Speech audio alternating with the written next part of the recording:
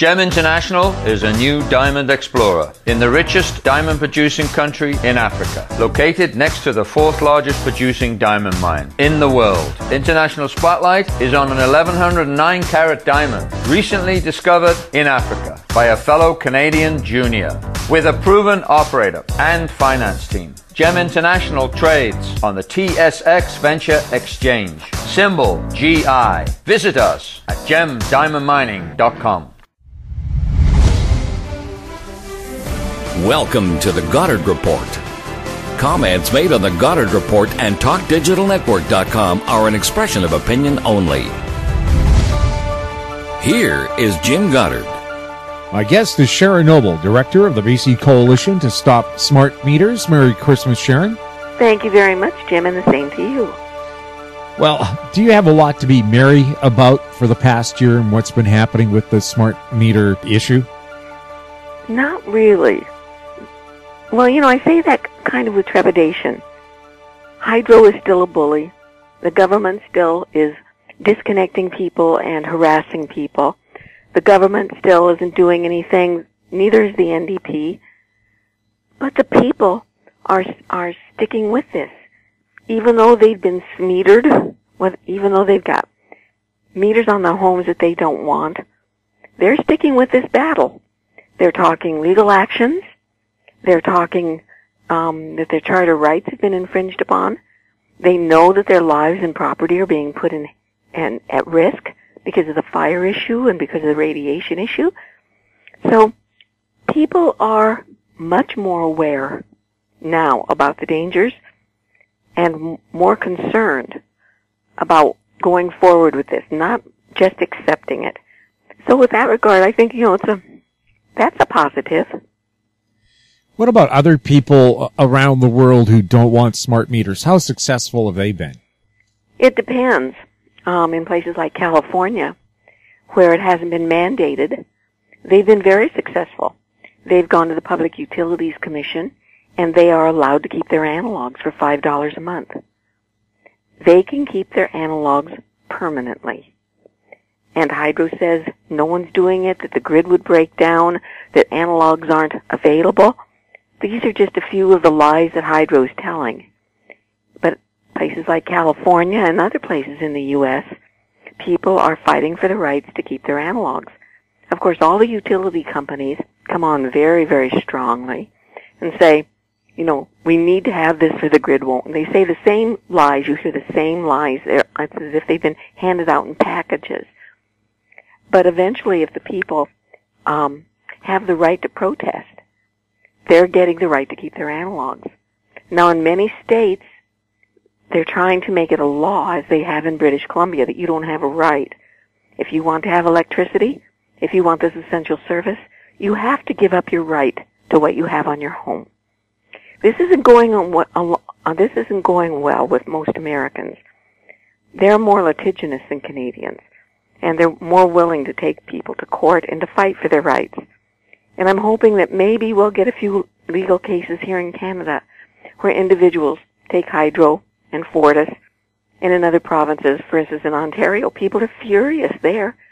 Thousands and thousands of people are being faced with huge bills, gigantic bills that they can't afford. They're having to choose between heat and food, and if they can't pay their electricity bill, they're being cut off. There is rancor throughout Canada and the North in North America about these things. And every place, for instance, well, in the UK, for instance, and in Australia, they're asking what are the benefits. We're not seeing any benefits. And in Ontario, the Auditor General said said the same thing and has in two or three annual reports. There's absolutely no benefits to justify the costs. And certainly these people who have their electricity turned off because they can't pay the fees. The time of use billing, the smart meter, the increase in all of the programs that are being put through that cannot be justified are raising the fees horribly, just as they are going to be in British Columbia. We don't have time of use billing yet. We will. We haven't seen the full impact of all these stupid, unnecessary programs like Site C but we will. Time will come when people will have to choose. And it won't be just a few, it'll be a lot of people have to choose about which bill they're going to pay. How does that make you feel that we're paying? How much does it cost us to put in these smart meters? How long are they going to last and what's the replacement cost for the replacement? The cost per meter, and I've explained this before and I've got it on my website. I've been tracking the cost for a program and dividing that by the number of meters being installed. So in some places there will be more work needed because if you have a mesh grid, you've got to put in collectors and more cell towers and stuff. I've divided it in British Columbia remains the highest in North America at $555 per smart meter. And the life expectancy was given as more than 20 years to justify this cost when, when Hydro and Fortis presented before the BC Utilities Commission and in their business case. And they knew at the time when they said this it was a bald-faced lie.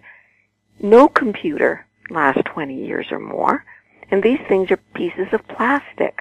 They're not metal and glass like the analogs that have lasted 30 and 40 years. Some even have 50 years old, 50 uh, year old um, analogs in their home. And even the industry admitted long before Hydro started putting these on homes, that it was probably closer to 12 years. Well, now there is evidence and there are admissions before the U.S. Congress that it's closer to five years, between five and seven years, and some say that's even overstated. So we're going to be facing replacement costs, and we already are in some places. In Ontario, they're already starting to replace their, their smart meters. We don't know if they're replacing them here because hydro doesn't tell us what's going on. Many places have seen hydro coming in and replacing the meters and they don't know why. So the costs are going to continue to increase. It's a bottomless pit and there's no end to it. But what's really bothering me and should bother everybody is the safety issue. Every time a meter is exchanged, the lugs on the base get wider. The gaps get wider and there's a chance that there can be harm from a hot socket or something because hydro is not following good sound electric um, electrical practices. They are changing these things with that, on, that are live. They're not turning off the power at the home, and it's up to the homeowner to say, "Wait a minute, I want to turn off my power." If they don't, or if they're not home, hydro just changes it. Every time the meter is changed, you're increasing the likelihood that there's going to be a fire. And now everyone practically has had their analogs taken and either an, another legacy meter put in. Some people have had their legacy meters put uh, removed and put in with another legacy meter, and now they've had a smart meter put in. That's two exchanges in a very short period of time. Perhaps at least one, probably without anyone who had proper training the Corix people didn't know what they were doing and they smashed them in and they, they were, were, were not careful. We don't know what the state of the bases are anymore. And the chances are it's going to get worse with each change of meter. So when the, the computer dies in three, four, five years and needs to be replaced, or if there's a software upgrade and so they have to take your smart meter, or if there's a new model that they want to put in, and this is happening all over the place, they're going to do another exchange. And this will expose your base to another uh, traumatic experience. So there are many costs here, Jim, to what's happening. And it's not just dollars and cents. But the dollars and cents argument is major. And John Horgan and Adrian Dix should be jumping all over this because that's their bailiwick. These are expensive and there's no end to them. Sharon, you're also very concerned that the World Health Organization has not stepped into the debate about whether we should be concerned about the high RF levels that smart meters and other devices generate. Not only that they're not stepping in, they're misleading. Um, in 2011, in May of 2011, the um, International Agency for Radiation Protection, um, which is an arm of the World Health Organization, found that the radiation from all wireless devices to be a 2B carcinogen. It's a possible human carcinogen. That's the same classification where they put lead, HIV, DDT and other things. This is something that the World Health Organization has been downplaying. They, like Kendall and some of the other health professionals and Health Canada say, well, it is also the same as uh, the pickling agent in vegetables in Asia. Yes, that's true. The pickling agent has been found to be carcinogenic. But worse, they are ignoring science. The reason IARC um, classified it as a possible human carcinogen was because they didn't feel that there was a clear path to explain why it's happening. Now, of course, people still don't understand exactly why people get lung cancer, but people know that cigarettes cause it. It took a heck of a long time to make that connection because the industry was paying.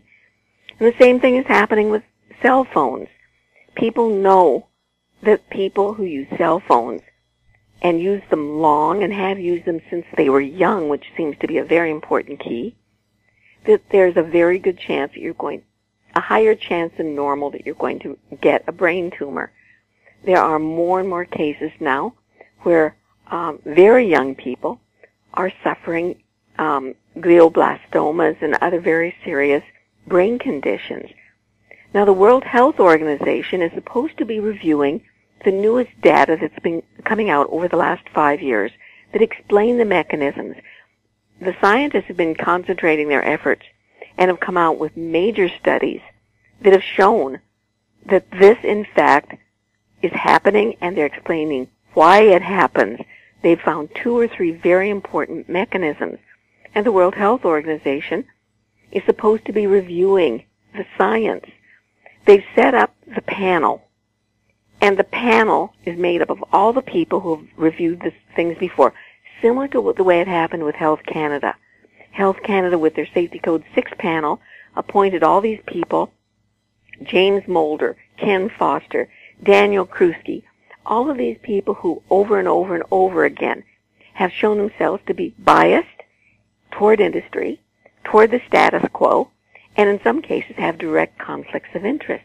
The same thing is happening with the World Health Organization they are, I'm sorry, the World Health Organization in this panel has named many people who are directly um, affected and, and, work with the industry, and especially with the with ICNIRP, which is the international co- uh, commission that has set the standards. It was, it's loaded with military people and corporate people. This was the purpose of it initially, and it hasn't changed. And the World Health Organization panel is going to be loaded with these people. And worse, the, the director of the project to review the standards is an engineer, Emily DeVenter. I don't know if that's how you pronounce her name or not. That's how it looks. She's a, she's a, um, a physicist, and she has worked with people in the industry for years, and she's heading this up, and she's naming the panel. We've got some major petitions and letters going around. Olga Sheean has presented um, a petition. And in the petition, she is asking for the head of the World Health Organization project, the EMF project, to be replaced, to be recalled because of her conflicts of interest and her noted biases.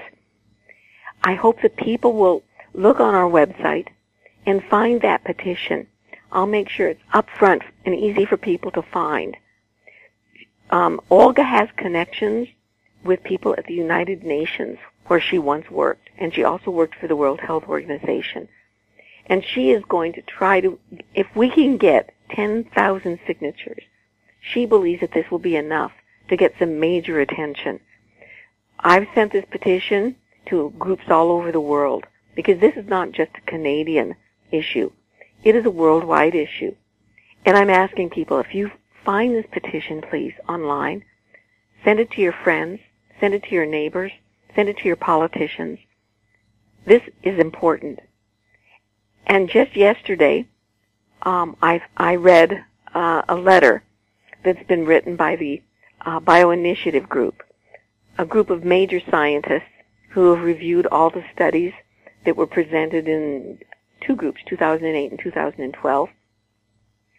And they have found and reported on so many harmful effects they are petitioning um, the World Health Organization to review its information, to review the makeup of its panel, and to be honest, looking at the science. It's time, the evidence is here, and it's too important, especially to the young generation. We've got to get science to be considered seriously. It's time for the World, World Health Organization to speak the truth and to stop hiding and trying to obfuscate so that people can no longer hide um, behind um, ICNIRP and all these things like Health Canada is.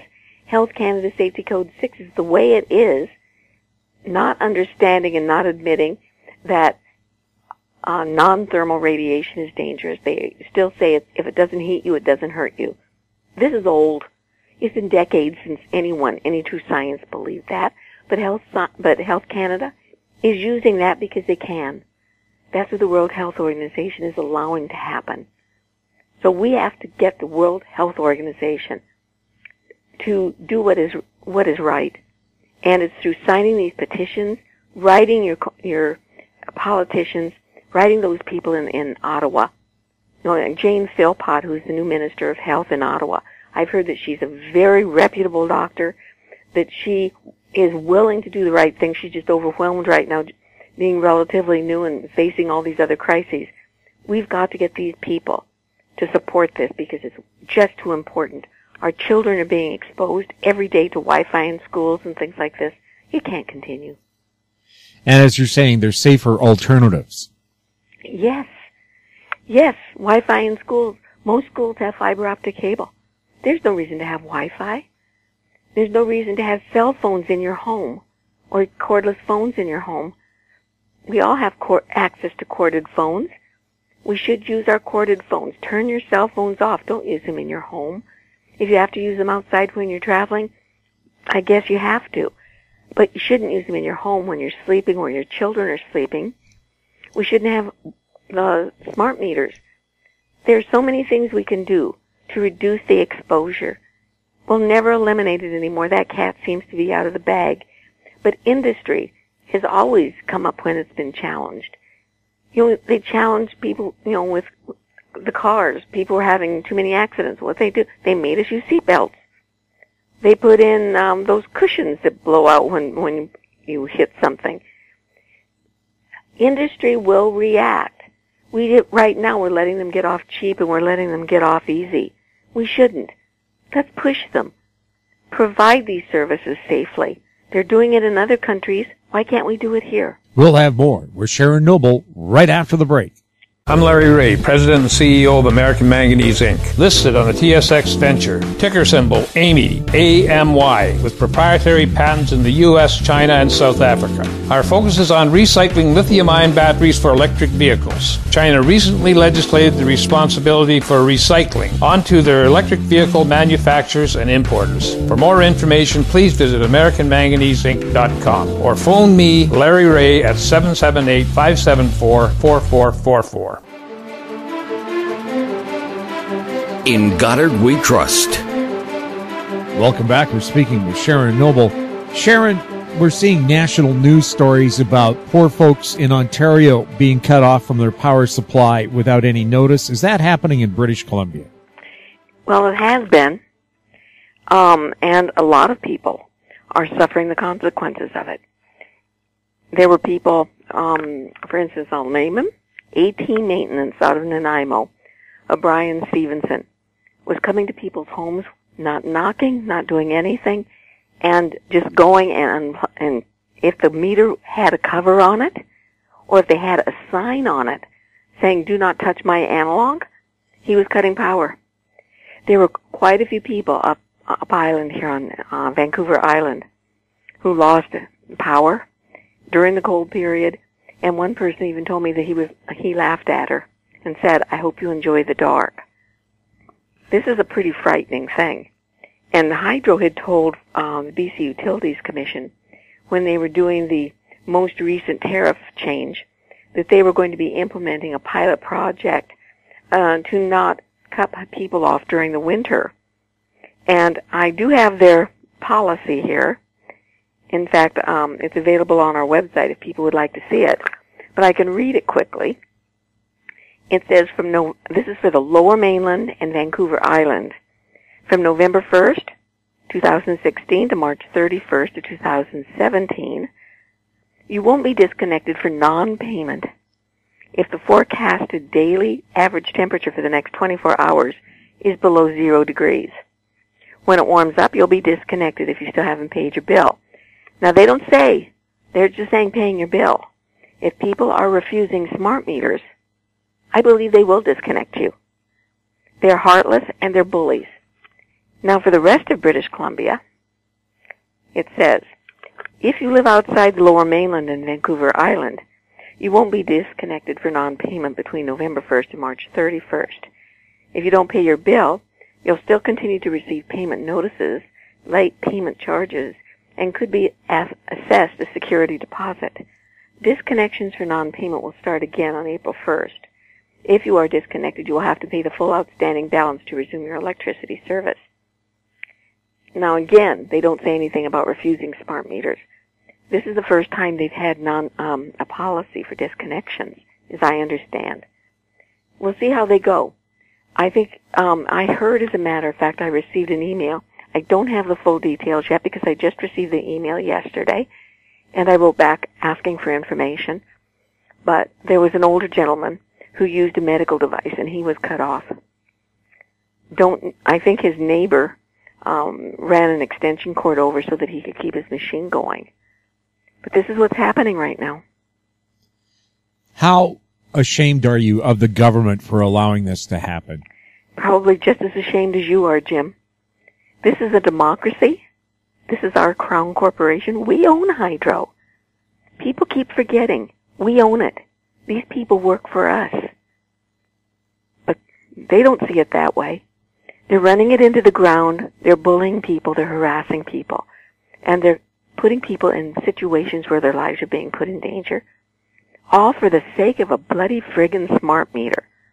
A smart meter that has no benefits to anybody except their corporate buddies. This infuriates me. It doesn't just embarrass me, Jim. It infuriates me, and this is why I continue fighting it so hard. Well, when the judge didn't give you certification for your class action suit, didn't she give you some hope saying, well, you do kind of have a basis based on the Charter of Rights for you to have personal security, safety, and no health risk? Yeah. But she also said it was base, it was a better argument for individuals to bring forward, not for a class action. Did she volunteer to be your lawyer? Wouldn't that have been nice? Yeah, sure. No, you know, I think when she said it, she was probably fully aware that uh, this wasn't likely to happen. Hydro has a whole bunch of lawyers that we pay for, and I've been told that they charge $700 an hour. You know, to fight these people, you've got to either have a very, very deep pocket, or you've got to find a, a legal group who will take it on a contingency basis. Now we both know that if you take it on a contingency basis, the lawyer has to have a way of getting money. And I presented this to a couple of lo- uh, legal groups. I presented an argument to one of them, a larger group. I won't name it, but it's a it's a group that has done a lot of class actions against BC Hydro and the government. The fact is, there is great discrimination going on with fees. We've discussed this before. There are many people who have smart meters who are having them manually read and are not paying any fees. Hydro says this is because they've got the meter. It's not their fault. While the people right next door with an analog meter that is still functioning perfectly are paying $32.40 a month for services that are supposed to be additional and special. I have written to the BC Utilities Commission and Hydro. I want to know what those special services are. Initially, they told me when I asked years ago, I guess in 2013, when they brought these fees in, I asked what the special services were, and they said it's it's because the, uh, most of these people who have smart meters that are being read manually live in rural areas where the infrastructure isn't up and going. When I asked them why are they being given smart meters, why can't they keep their analogs, I was told, well, the smart meters, even if they're not working, still gather information that's important to us, which to my mind means that they're gathering personal data that's not needed for billing purposes. That's another issue. But Anyhow, recently, in say since September, October, I've learned that many of these smart meters that are being read manually are in fact in urban areas where there is the infrastructure. Why are they being read manually? I don't know. They won't tell me. But why are they being read manually? And you've got the analog next door and the person is paying 3240. I want to know what additional services are being provided for the 3240. If you're reading both manually, you go from one door to the next door. You go, yet on Salt Spring, people are telling me that they come back separately. They read all of the smart meters one day that aren't working, then they go back to the mainland, and then they bring the boat, they come back another day and read all the analogs. That makes no sense. I want to know, and I think we've got a legal argument to say that we are being discriminated against. Well, especially when you compare the BC charge to what's being charged in other provinces yes. and in U.S. states. Well, I want to know what those additional charges are. Jim, if you take, when we first started this, when the legacy fees first came out in, in December of 2013, we had close to 200,000 homes that had, that were going to take the legacy meters. People gradually dropped out because they couldn't afford the 3240 a month. We still have 15,000 who are paying this legacy fee. Just take 20,000 as an average, and that's a low average. Take it 3240 a month for three years. You've got well over $20 million that Hydro has taken from us. And I believe taken illegitimately. I believe we've got cause for legal action. And the one legal group that I took it to so far that has taken a lot of uh, taken a lot of such cases told me that they thought we had a very legitimate case. They just didn't have room for it right now. Their workload is too heavy. I'm going to keep finding and searching for a lawyer because I believe we should be taking Hydro to court. And I believe we've got a way to pay a lawyer who's willing to take this case on a contingency basis. $20 million? That's a lot of money that we've had stolen from us. And it's continuing. I still have my analog and I'll have a, my analog I think expires next year or maybe the year after. I'll keep paying my 3240, but I don't know why I have to. It's extortion and it's just another bullying tactic. So many people want to keep their analogs, but they can't afford it. And some people have two and three meters. You know, if people have, for instance, a greenhouse or if they've got a, a workshop or they've got a, a, another suite in their home, they've got more than one meter that they're paying for. That's a lot of money. Electrical engineers, you say, are now speaking out about smart meters. Can you give us any examples? Yeah, I've been speaking to, over the last three years with a lot of electrical meters. I'm sorry, electrical engineers. And some of them are now willing to come out and speak publicly there's one in the U.S. who's been uh, speaking before uh, utility boards. His name is William Bathgate, and he lives in an area where they have Itron meters, same model we have. He took it apart, and he found the very same design flaws that the electrical uh, engineers here in British Columbia have found, and which I've been writing to BC Hydro about, to the government, to the BC Utilities Commission warning that they're fire hazards. He took them apart and he said he will never allow an Itron meter to be put on his home because he knows that they are dangerous. He's speaking out a lot about the Itron meter, and I believe that the Utility Commission and BC Hydro are guilty of negligence for allowing this to continue. They knew that these meters were dangerous when they put them on our home or at least they sure should have. I want to know what due diligence they did, and I've asked for this through a Freedom of Information Act that I haven't received an answer to yet. I want to know when they bought these things, who at Hydro looked and inspected the meters? What were his qualifications? Did he look and determine that these things were safe to be put on the homes? Because Itron had had fires long before Hydro signed that contract. Who blew it? Somebody did not do their due diligence, or else we would not have these things on our home. And a very interesting thing now to consider, Jim. When I first approached John Horgan in 2010 about these meters, I said, what we need are safe wired meters. What we need are uh, fiber optic cable connections because fiber optic cable is more efficient, it's faster, it's safer, and it doesn't irradiate us. It would protect our data far more than having it um, sent wirelessly through the air where any teenager with a computer can hack it. But he was right.